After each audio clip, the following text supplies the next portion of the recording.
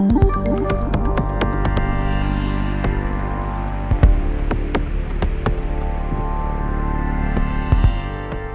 everybody, welcome to the Daily Grateful. Once again, I'm down here in Victoria Park. There is a rally that's going to be happening. Oh, I'm not able to hear through the wind here, but there is a rally that's going to be happening in support of the Black Lives Matter movement in solidarity with everything that's going on in the US. So, just here to show my support.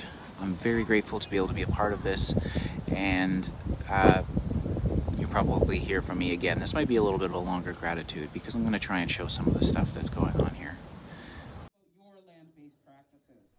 So I've attempted to record this gratitude many times over the last couple of days. And I find myself in sort of a weird position where I feel very grateful to have been at this rally, to be a part of it.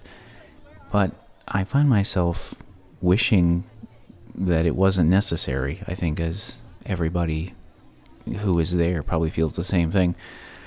It's just this unusual space where it's something that I want to be able to uh, share gratitude for, while at the same time wishing that there was no need to have to share the gratitude. I don't know, it's kind of a, a strange feeling.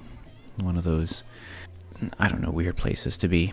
And I just wanted to include this little bit extra chatting in here because it's a weird gratitude for me. It's hard for me to wrap my head around.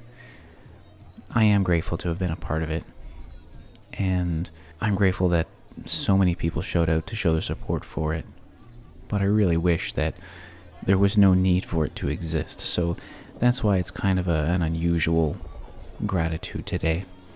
One that I'm sure I will be mulling over emotionally for some time to come. But thank you very much for listening in and, and checking this out, and we'll see you on the next one.